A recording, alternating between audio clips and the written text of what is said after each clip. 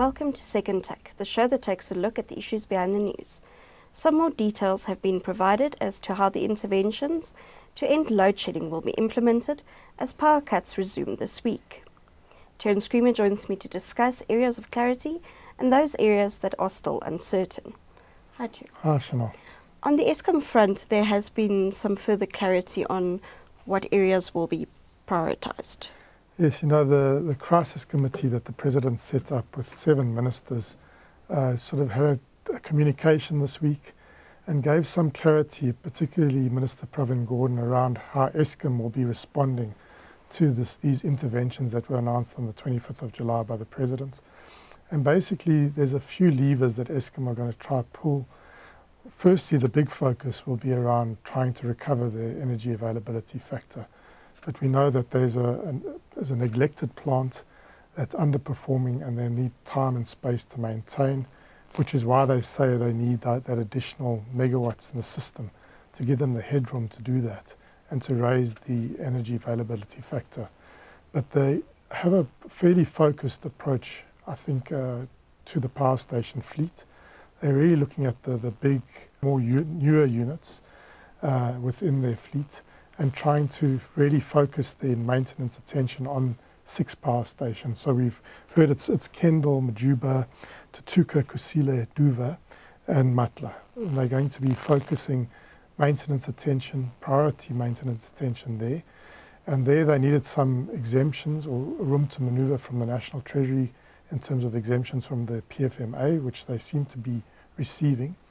Uh, and that will allow them to get spares uh, in place to do the maintenance and to procure that uh, and to also possibly expand the budget. And interestingly, the National Treasury said they, they, they are willing, uh, the Minister, Enoch Godongwana, to maybe give a little bit more money into Eskom's maintenance. They've got 8 billion uh, yearly that they spend on the generation fleet.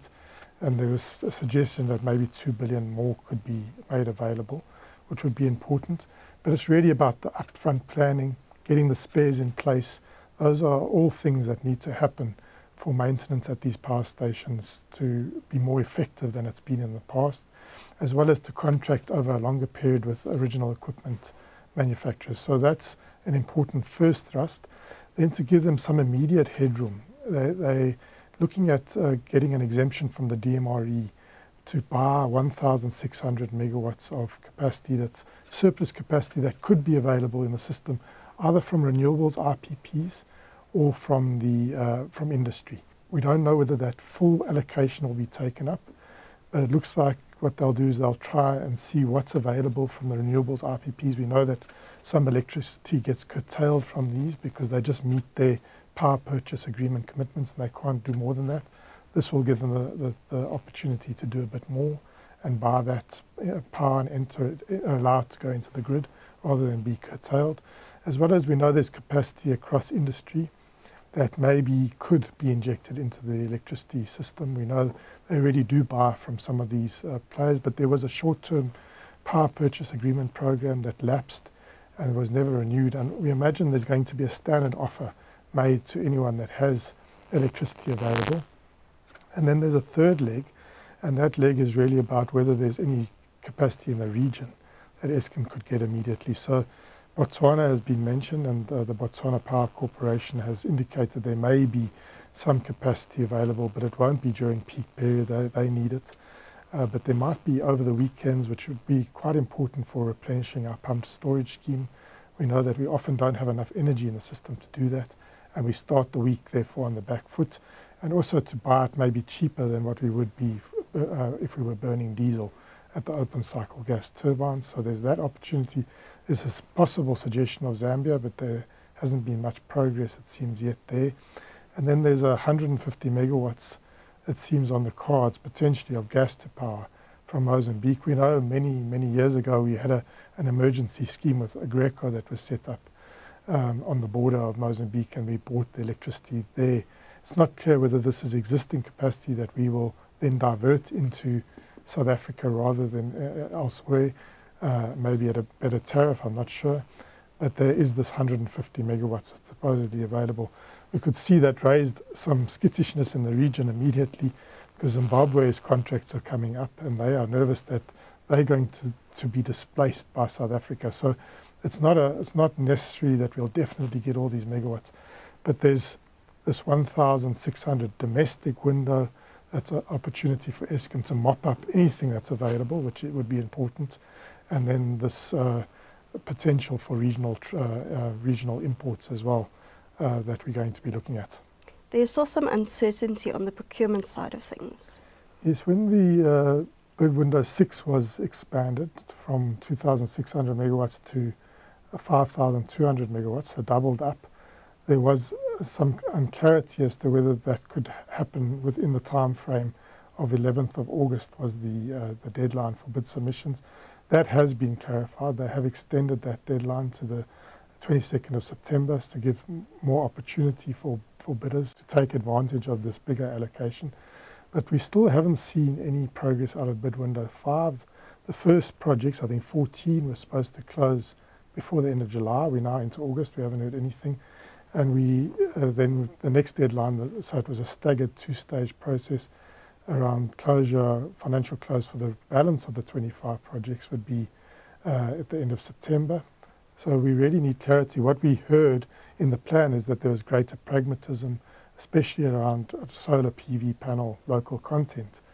Uh, but uh, we still need some clarity as to whether those 25 projects, which I think are baked in, in terms of Eskom's planning, in terms of system operators planning, in terms of trying to get more capacity into the grid. That, that hasn't happened yet. We also haven't had firm dates yet for the, the battery storage projects.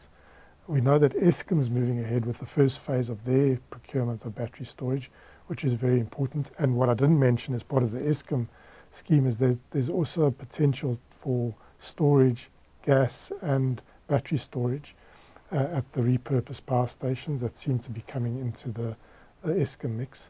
But you know, we haven't got the, the 513 megawatts of uh, battery storage that's in the RP outside of Eskom. We need to know when that's going to be procured because that's going to be very important as we have more renewable electricity coming into the, the network. We need the flexible generators, or, uh, in this case, battery storage, which is also a a consumer of power, but uh, to be able to respond to the gaps that might be left if there's a cloud out or if it's night time in the case of solar. So that's, that's important. We also don't know the dates for the peaking power. That's also allocated in the integrated resource plan. That hasn't been announced yet. Now, whether that will be gas or more diesel, we know that Eskom's been progressing a project uh, at Richards Bay. Does that fall under that gas to power project? Does that fall under that allocation, or is that something different. So there's a lot of uh, unclarity.